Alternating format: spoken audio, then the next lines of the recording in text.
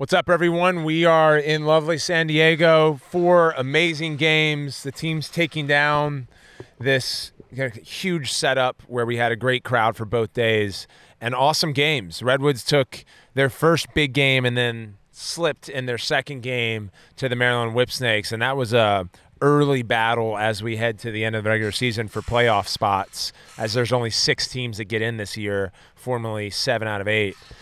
And then there were some other big moments. Atlas and the Cannons made their playoff position or cemented their playoff position as they fight for number one uh, in the Eastern Conference and that uh, elusive first round bye. Uh, a few other storylines. What caught your attention? I think what is catching my attention is that the home market strategy is really working. And I was incredibly surprised and happy that San Diego is now a lacrosse town um, and they really showed up. Um, and the crowd was loud. Rob Pannell said that was one of the best yesterday, best home crowds ever played in front of. Uh, Andy Towers referenced it in in his presser yesterday that it was tough environment for his team to play in, and it's really having an impact on the games, and it's working, and it's collecting more fans, and it's stickier. It's a better prod- product on broadcast. Um, it was originally your idea, so shout out to you. Um, and it's just working, man. And so from the business side, I really love it. Yeah, I think I think I was really surprised as well that the energy, like every fan here was a Redwoods fan, and that will only be matched by Boston and Denver. Salt and Lake, we talk too. About, we'll see. I'm pumped to see go to Salt we'll Lake. see. The thing though is like it's okay to live in California having watched the PLL for five years and love the Water Dogs. Yeah. Like it seems to me that Californians turned in their jerseys, whatever it was that they were supporting, and are fully Redwoods fans. You could hear a pin drop when Maryland or Carolina scored. It's crazy. And that that was different. Again, that felt like a Boston crowd that's been conditioned over 20 years for the Cannons. It'll feel like the Outlaws crowd in Denver. Yeah. And I was uh, I was really pleased with that. It was fun. 53%. I mean, we don't have the tallies full tallies from today, but as of yesterday, 53% of the merch purchases were all Redwoods gear, right? So it's it's definitely continuing to trend that way. We have really good data. Um, and I just love to see. We knew that youth lacrosse in Southern California was growing, and so we assumed that there was going to be a fan base that was really growing here, um, and it was just incredible to see the turnout. And then also, the interesting thing about San Diego is because it's so beautiful and the beaches here, I met a ton of people that were traveling in from the West Coast. Yeah. Just took vacation. Yeah. They're like, I just took like half the week in off. San I'm, Diego. I'm vacationing around the PLL weekend in San Diego. So yeah. something something interesting there, the thread to pull. So. Yeah. Well, I'll try to hit the stats right. I, I know uh, one of the the states that people were sort of scratching their head on uh, was California because it is an emerging market that has struggled with pro lacrosse in the past versus say the Midwest or Texas and Florida that are other Pacific Northwest. And so when we uh, decided to bet on the California Redwoods uh, and bringing the Redwoods here to to see this response. Uh, was one thing, but also to look at the continued trend of participants in this great state. 290 high school boys programs, over 10,000 high school or uh, youth uh, men boys playing in the state, which is second to New York. So it's just a huge market for us. I can't wait to continue to bring the Redwoods here for home games, and uh, I'm sure with the three questions that we have coming up from fans that stuck around, we'll hit on it. Uh, but before that, we're going to bring on our our first guest. Uh, who is not a fan, who actually spoiled the party for the fans, and Matt Rambo for the Maryland Whipsnakes. Let's get him on here. One of the OGs. I still remember my original conversations with Matt Rambo. A lot of those conversations with players with heart were hard, and Rambo was he's a very loyal guy, so he was very loyal to the Charlotte Hounds, and took him a while to get over to the PLL. But ever since uh, when ever since he's been with us, and he came over obviously at the beginning, but I always remember those early early days of Rambo joining us. And he's just a fixture in this in this league and then and then pro lacrosse. So I'm excited to sit down with him. Stars align for Rambo. He's now a Maryland Whipsnake, having played four years, won a Tewaaraton national championships with Maryland Terrapins. Cool. So we got Matt Rambo here with us. What's up, guys? The legend just turned 30. Happy birthday, brother. Thank you. I'm getting old. Don't look an age over 21. Oh, yeah, right. You I do wish. stay young, man. I wish. How do you stay young? Playing lacrosse.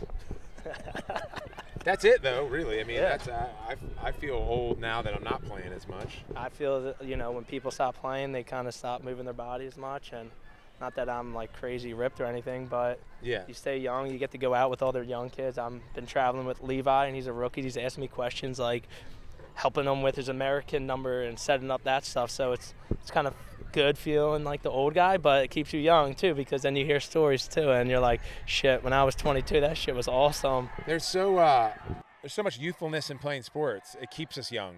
That's why they say athletes uh, die twice. Yeah, I'm sure that's what they Because- say. well, once yeah. you and retire, Yeah. Is that your Once first when you retire and then when it ends. Yeah, just being around the team has been keeping me young, especially this team. We have so many rookies playing. I think we have like nine rookies, so just you know teaching them things and they asked me so many questions, and it's good because when I was that age, I used to ask Chanenchuk or Earhart and all those guys so many questions. So it feels good to answer the questions now. does it feel like because you were what two years into the MLL? Like you played for the Hounds for two years, and then you yeah, came over to the PLL. two years, and I came out of the- PLL. For the first year in the PLL was your third year. Does it feel like it's flown by? I mean, TJ was my roommate this year. Heacock is usually my roommate. He didn't travel this weekend, but um, TJ, you know, he was just like, I was like, you know, we only have three games left after this, and he was like, it goes by fast. He's like, didn't you used to have like 16? I was like, yeah, we used to start in April, but it still goes so fast. And uh, he was like, yeah, this is crazy that my rookie year is almost done already. I'm like, yeah, so make the most of it, be grateful, and you know, if you, I told him, you know, if you sit out an injury ever, like you'll you'll realize, you know, how grateful it is to be able to play this game. Um, it, it just sucks every year. I've sat out maybe like one game for an injury or whatever, and or broken hand or whatever. But you know, you just feel grateful when you're coming back and you're like, damn, I missed this so much. And especially when the crowd's electric. Like today, the crowd was sick. Yeah. Even they were against us, but it was sick. It's fun. Yeah, you guys were uh, popping a lot of energy after goals because it's fun playing away. Right. It's good being the away team. It is when you score. You know, I know all the momentum goes to the off uh, the home team when you Everyone's score, quiet. and then when you score, then it's like a pin drop in. yeah, exactly. It was like 90% Redwoods today, and when Zed scored a couple of those at the end, everyone like you could hear like Zed stomping around. I'm like, damn, that's a that's a killer. Zed got into it. He Yeah, was dropping Zed. Some f bombs. Oh, he dude, told the he was so fired home. up. yeah, yeah. Yeah, When Zed gets like that, it's hard to stop him. it's hard to stop him. And I told that I was just you know rapping with the guys. I'm like, you know, I think one of the defensemen was like, shit, I didn't even know Zed had a shorty on. him. Like, is this guy a shorty on him? There's a good chance. He's What too gets- big. What gets Zed fired up? You've been playing them for fo- five years now. Uh, I think four now, Four? four or five. yeah. someone hits him wrong, uh, if someone talks shit to one of his teammates, like he's so big and he's so like, I think he's like he's a dad. He's two kids, he has stepkids, and you know he's a lot of nephews and cousins. So I think he's like a big, you know, protector of his family too. So um, I think it's his instance to like get mad and take over. And today, like you saw firsthand, like, like give me the ball, get the hell out of my way. I'm going to the rack, and I'm like. I'm like screaming at guys, don't set a pick. Let Zed go. He's Zed going to go. body this dude. He's 250 pounds or 40 pounds. He's a monster. It, it feels really contrasting because he's such a soft-spoken, kind guy off the field. Nicest guy ever. People talking shit. That happens all the time. Yeah. But when Zed talks, everyone kind of goes, "Really?" Yeah. And it's because he's so nice. Yeah, when he gets fired up or when he's when he starts talking shit, you're like, Yeah, yeah. it's like, yo, don't talk shit to him. He's the wrong guy to talk shit to. Talk about the the game and how this was a huge win for you guys. Yeah. Given like sort of like the bottom of the table right now is Philadelphia, California. You guys are in the playoffs, so they started tomorrow. Right. Um, what was sort of the sentiment in the locker room going into this? By the way, this Redwoods team that won yesterday. Uh, you know, Stags, you know, he pretty much told us the fate's in our hands right now. It's not coming from the coach. It's not coming from anyone else or the fans. It's coming from you guys. You know, we can go as far as you guys want to go. So he's like, this is a playoff game. Every game now is a playoff game. We put ourselves in that position. We had a lot of young guys, and last week maybe we could have got a W. Uh, a couple games we are looking back, and we're like, if we shot better, we're, we're playing really well. We're winning a lot of stats, maybe just like the shooting part. And uh, that's a lot on the offense. So I think a lot of our focus this week was like worrying about us. And I know that's so cliche to say, but like worry about our shooting. Like shoot the fucking ball right, and it's going to be great.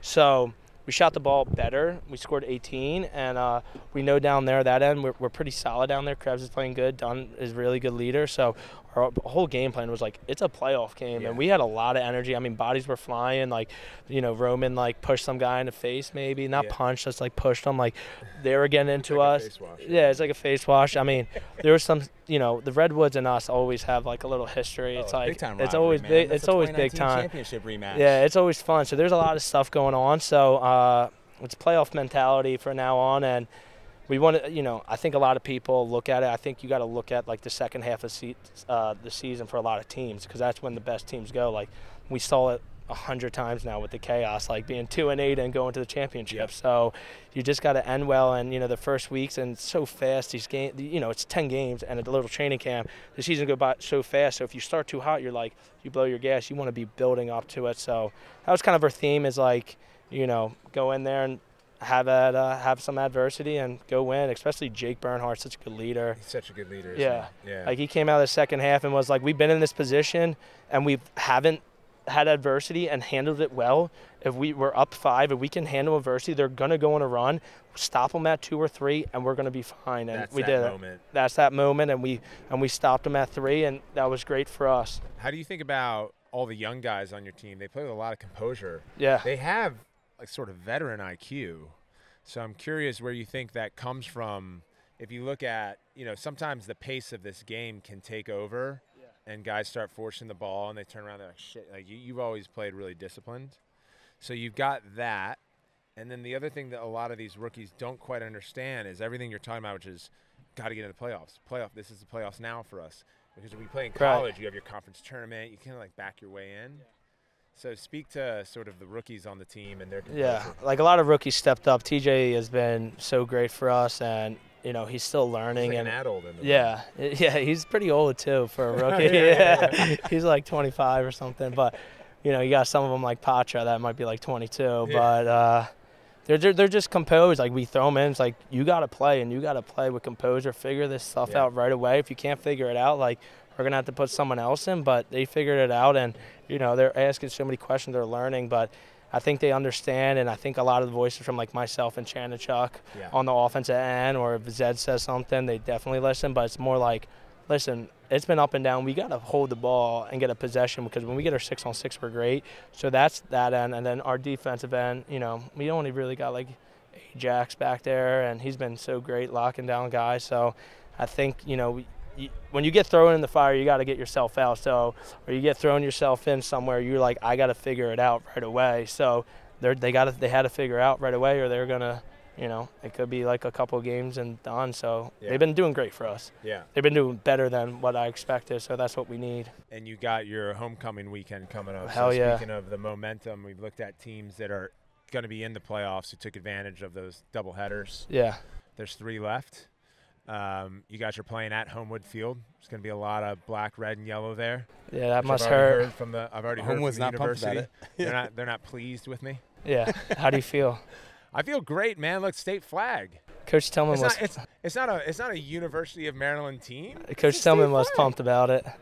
Well, he was pumped. Yeah. He was pumped. I think he was just joking around I mean, it's one. it. It's one and only. Yeah. You know, he'll be there. He'll be on the sideline. Yeah, he said he, he called me last week. He told me he was gonna come. You guys fired up? Yeah, yeah, You yeah. have, you have a history of playing great at Homewood. yeah, I like it. I like Homewood. Um, As an undergrad, now as a post grad. As a post grad, I, I mean Homewood is great.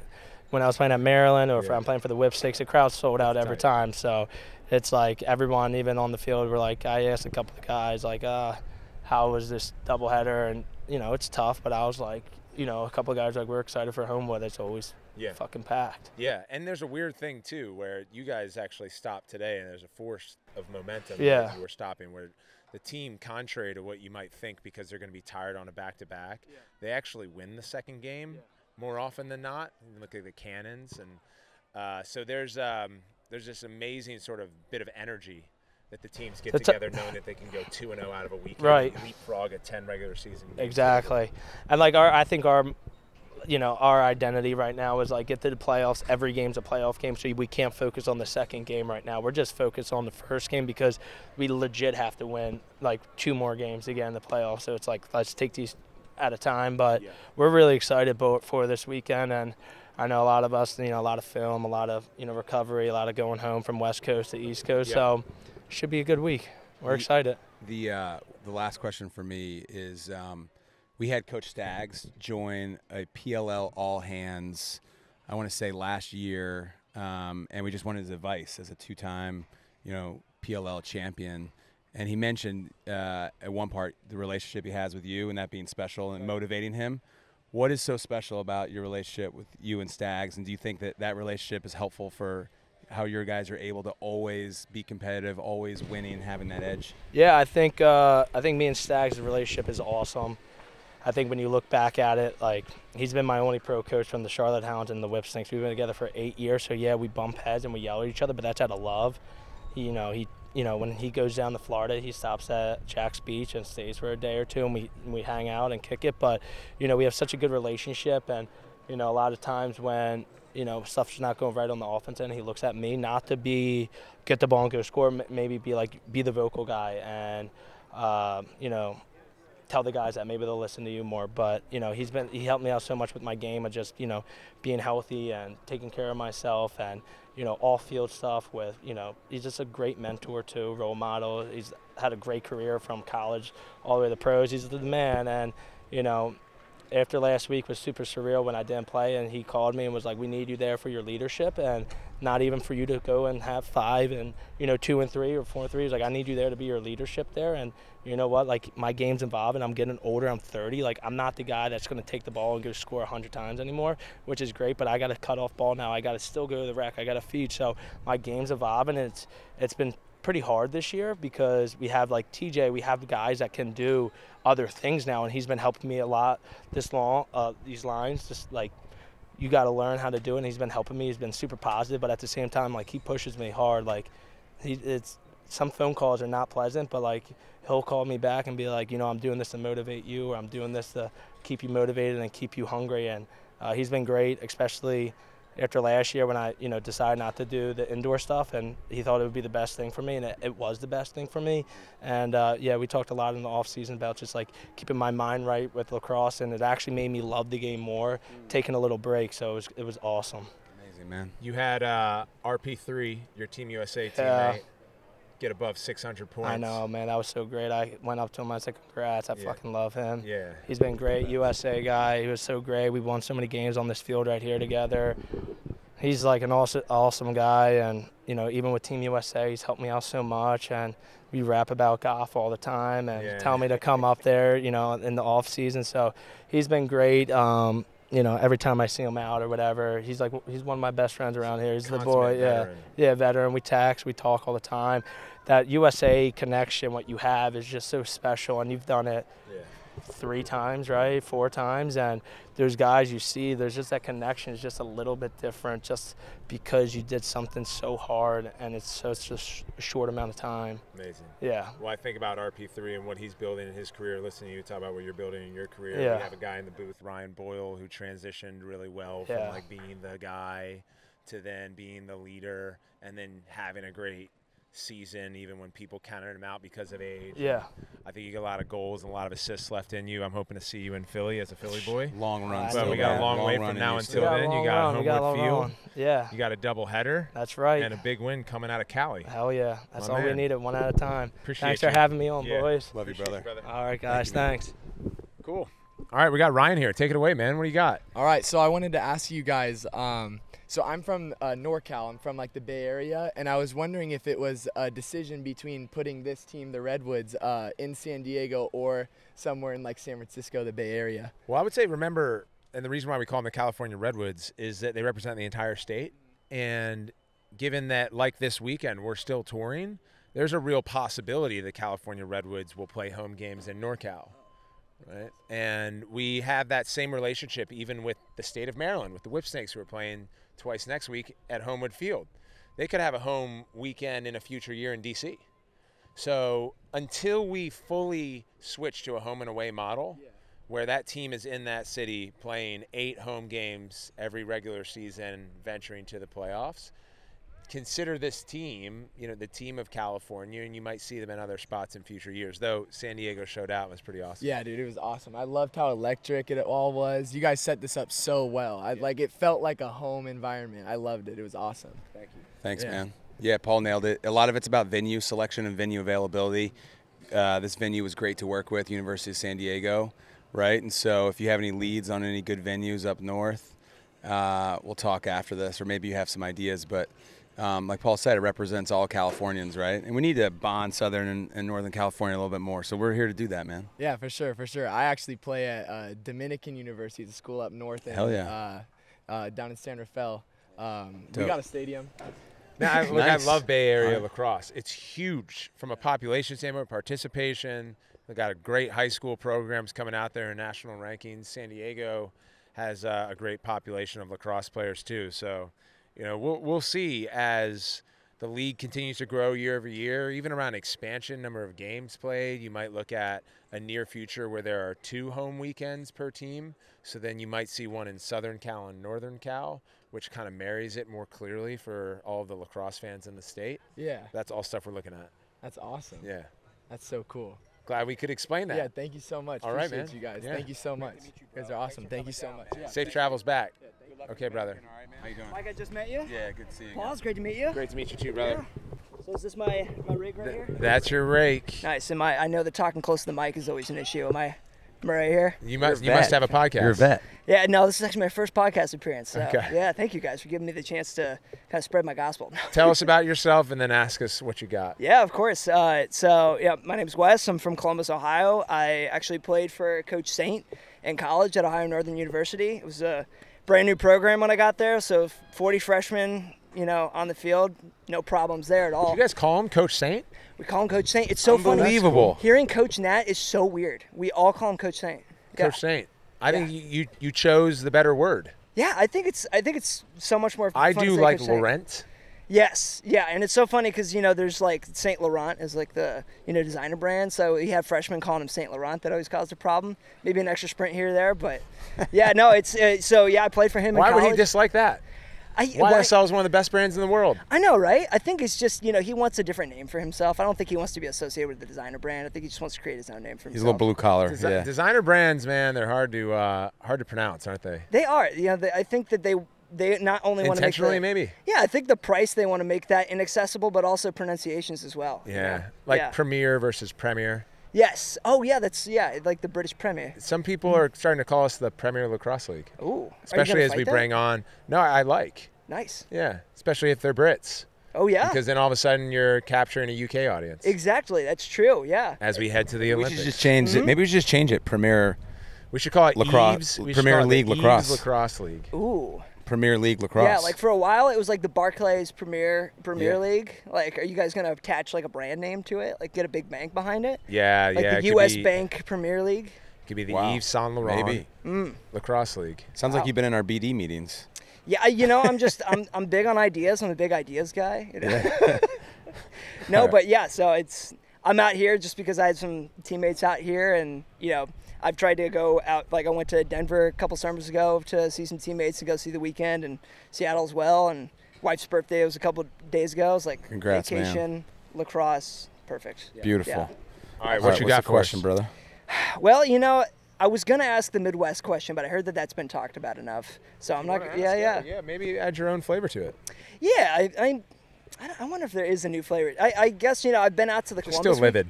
Just yeah, I am. Just livid. Yeah, just fine. heated. Yeah. yeah. It's all good, I'm, I get I'm it. red hot, and it's not just the the uh, sunburn. Yeah. Uh, well, for me, it's that. Not as hot about this, but we can talk about it.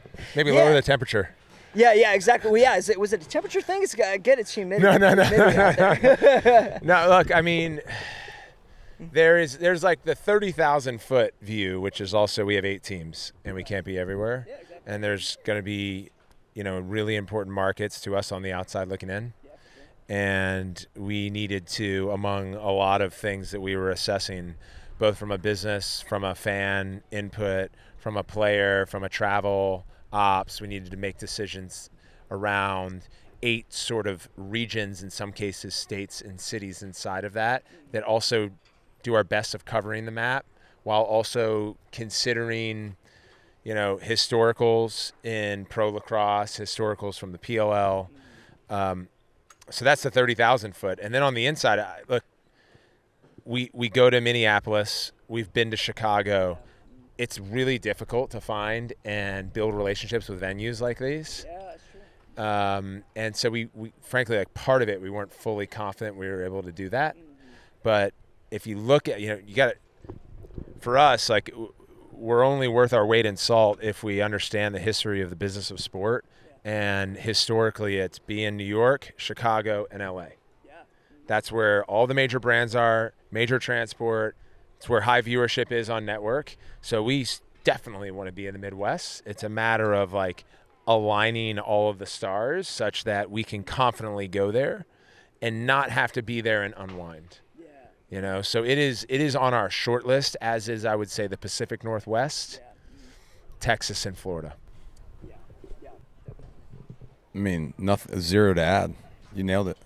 It's hard. It's hard. Yeah, I mean, I, I love the Ohio Machine. Mm-hmm. Um, I love the history. Like the Chicago Machine was before them. I played at Soldier Field when I was with the Boston Cannons against Yeah. the Machine. Yeah, yeah, that's pretty sweet. Yeah, I mean, it's it's a fantastic market. We have a lot of our brand partners that are headquartered there, Totally, yeah. and we want to be there. Yeah. It's just a matter of it's just a matter of when. Yeah. Right. Totally. We just want to be thoughtful and intentional. This is the type of we're not a software company, Right. right? We can't like take a feature and A/B test it. We when we release something to the marketplace, we want to make sure it's there to last, like Paul just talked about. And so obviously that's part of this discussion and what we do with one-on-ones. We want to be having transparent conversations with the fans, um, and you know that'll allow us to continue to they'll continue to understand the business. We'll continue to be educated what they want, right? And it's a, it's a conversation. Yeah. So. Yeah, for sure. No, I think you answered that very clearly. Yeah, I mean, you guys are working with you know limited amount of capital and trying to change that, of course, and so I think it makes sense that you got to start with where you got. Well, I actually think, I mean, it's a fair assumption. So I, I, I don't think it's capital. I think that it's audience. Okay. mhm. I think at large, Mm. we're actually working with a small audience. Oh, okay. Just we're out of the trying, well, yeah. Mm. lacrosse at large. Okay, fair enough. yeah. right? Like we, we, you know, we just finished the pitch to get it into the Olympics in LA 28 a year, two years ago. Most of the countries that represent the board at the IOC have never even heard of lacrosse, True. Yeah. right? And that's outside of the U.S. Yeah. Inside of the U.S., there's still fewer than half of our 50 states that have lacrosse sanctioned at the high school level. It's just a small audience. I actually think we're bench pressing uh, well beyond sort of our size to weight ratio. And we've got core fans like you that are spreading this and growing this with us. But, you know, where MLL, our predecessor, screwed up is that they tried to grow too fast and there's just not enough data in way of fans to support that growth. So that's what we're being hyper conscious of. That's where spring football has turned over in the past. You just you spend too much. So it's not that we're we're we're sort of like minimalists in our capital allocation.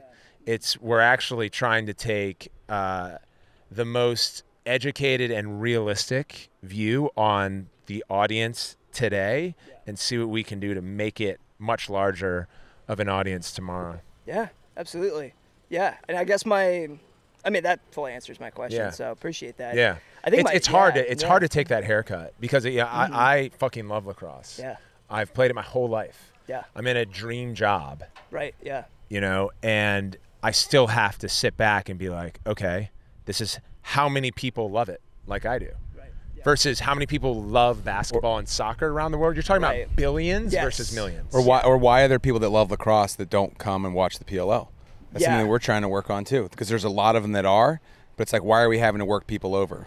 And Yeah. that's something that we're focused Yeah. on as well, right? Like, what's what's the objection? How do we handle that and move forward? winning lacrosse fans. Yeah. Yeah, just winning Well, lacrosse yeah, fans. There's and- still meat on the bone with lacrosse fans. And to add to that, I think you guys have done a spectacular job of making it an experience for all ages. Where I think in the past you would have it was, it, was- the kids really loved it. Yes, families. The parents were, were mostly there for the kids. It was all And- families. yeah. Now we have a, we have 21 over bar down section every weekend you can go to. It's really and I think dope you guys on do a good field. job. You guys do a great job of choosing venues that are accommodating to it. Like that, you know, I went to the Seattle one last year, and you know that minor league stadium was perfectly fit for it because they've got you know bars all around where you can go 100%. get some great beer, enjoy the game, cool, you know, cool separate sections. You know where you can get you know the wristband and you know that kind of stuff's great for the adults that want to go too. You should join our sales team, dude. Yeah, absolutely. You're, yeah, selling I'll, it. I'll You're switch selling from- it, brother. Yeah, I'm in roadway engineering, but I'll switch to sales. Yeah, no problem.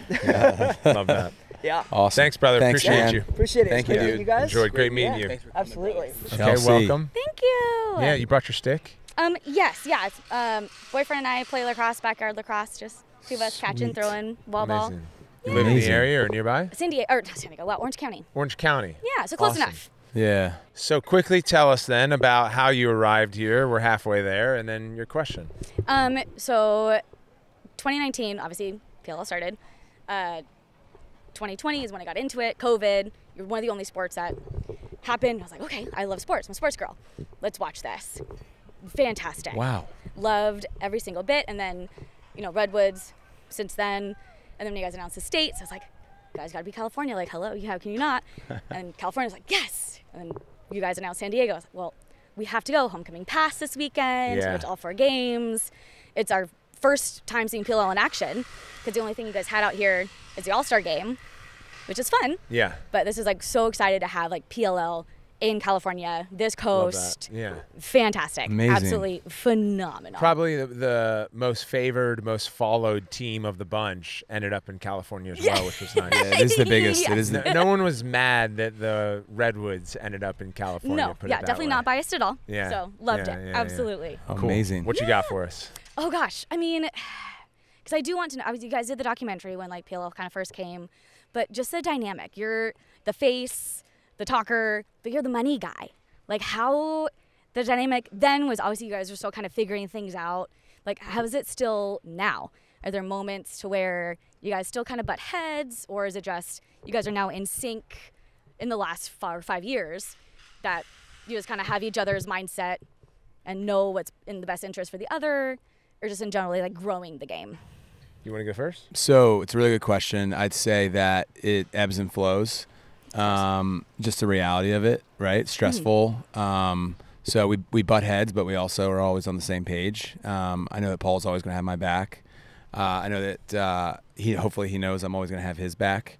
Um, and so I think that in a situation when you're a founder and you're building a company, um, that's really important baseline and foundation because a large need two different percentage of companies that fail fail because they're a founder fall a fallout. So I would never abandon Paul, even if we had like a massive blowout. Um, you know, look, I think that there's like competitive, there's competitive, not competitive, but there's competitive ideas and tensions that come from different um, uh, ideas and, and strengths. And so I think that Paul and I have different uh, skills we bring to the table, which is like a net benefit to the sport and to the league, which is really, really valuable. Mm-hmm. Sometimes that can cause like friction because you're like, I see this one way and he sees it another mm-hmm. way. But like, we're at the end, the place where you land, like the good stuff's in the middle. Truly, like pretty much in everything in life, mm-hmm. right? It's never like one side. It's always like this person said that, and said that. It's, the answer is the truth is somewhere in the middle, and I think that like, good ideas and good execution are usually in the middle. So I think because we have different brains, um, we have different genetic code that we're able to um, come to really good decisions that are that are like net positive. And we have to work through a lot of stuff um, when we want to get things done. Um, but I think it's I think it's a good mix, and I would describe it as you know a great partnership. And I'm, and I'm lucky, and I hope that you know if, if if we're lucky enough, I'm lucky enough to still be at the PLL for a long time. That you know Paul and I. Afterwards, uh, continue to build businesses together, and then my sons. I just I just had a second boy. Are able to build companies together too. I think it's pretty special. I think yeah that it's it's unique, which is why there's a documentary on it. uh, like most athletes don't start leagues, and those that are a part of either team ownership or, or leagues are typically like sort of the marketing engine or the mouthpiece of it. Um, and what makes this more complex is that actually not neither of us run we're running a sports business. I mean, perhaps like the closest thing to it was my camp and clinic business, but one of the reasons why maybe a number of investors turn the other way is that we didn't have sports operating pedigree. Um, and so inside of that is, you know, this notion that Mike manages the money, I manage the marketing and creative, but he actually loves to get into the creative, and I actually spend a lot of time on on money and our sort of business. So I, it, you really like. I th- I think from a from a narrative perspective, it's actually easier to present it as business guy, you know, marketing guy or face and money. Um, and in the entertainment industry, you want to actually lean towards what's most easily digestible. But anything that is uh, complicated and long term, um, we have our unique strengths, and we also uh, need to be good around, you know, every area. And so we're constantly challenging ourselves to improve, and um, and it's not just us; it's the rest of the company. Like we've got over hundred full-time employees, but then on a game weekend you have 300 people because it's a seasonal business. So eh, the the connectivity met with the cohesion is much is not not too different than you know championship teams on the field, where you can see the team that wins, they're just more cohesive in their offensive and defensive packages, and the teams that lose, they're trying to occupy each other's space. I, I, I think um, what Paul said when you when you're building a business as a founder and you're starting it from just like a, a spreadsheet or a PowerPoint, and then as it evolves and grows, founders can't be weak in a certain area. You have to like kind of know a little bit about everything. Obviously, you have your strengths and your parts of the company that you're responsible for. Like we divide up the company. I'm responsible for things. He's responsible for things, but that doesn't mean you don't cross over and then go deep on something, right? Like Paul will be on our sponsorship pitches, even though sponsorship officially goes into me. Paul will, will like go run down sponsors, right? And he'll join a pitch, and pitch is the front man, right? Um, there'll be like a media campaign. We want to run or idea and like i have to jump in and i want to give my thoughts. So there's like you know that's i think one of the benefits of founding a company is you just get all these different skills and, and hopefully uh, that trans i always tell like young people that want to like do stuff in the early in their career i'm like get like a corporate job first for one or two years build corporate hygiene and then you join a startup. Because you just learn a bunch of different shit and you wear tons of different hats because people need swiss army knives and then all of a sudden you can kind of go do whatever you want. So I think that's one of the benefits of this. I have a question for you. How did, uh, and then we'll you we probably all have to go, but um, what made you when you were watching the games in 2020? You didn't know anything about lacrosse. Like, why did you convert into a fan? What about it was because you said it was the only thing on TV, but what about the game watching it got you? I mean, because you guys, you guys do say it's, it's the fastest game on two feet, and it's just phenomenal between the offense, defense, midfielders um, just the dynamics that all the players have between uh, short sticks, long poles. There's just so many different avenues within the game itself that even like the midfielders that can use a short stick and then transfer to a long stick. It's it does you don't see that anywhere. Like baseball, they have bats, same size bat. Hockey, same size sticks. You don't get that fun transition of you can utilize what you have to obviously to a different extent, but it's phenomenal that you still have that aspect of, you know, onsides, offsides, defense, attack, but the midfielders that can switch maybe out sticks or do both sides of the field.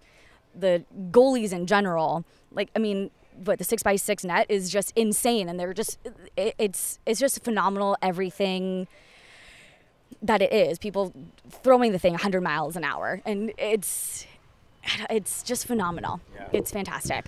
Well, it's complex, and, and, it's, and that's, it's really yeah, that's, artisanal. that's the best way to put it. It's complex. Yeah, and complex, but it kind of ties back to what we were answering, and that uh, that that is what's amazing about it. It's also what's challenging about mm-hmm. it.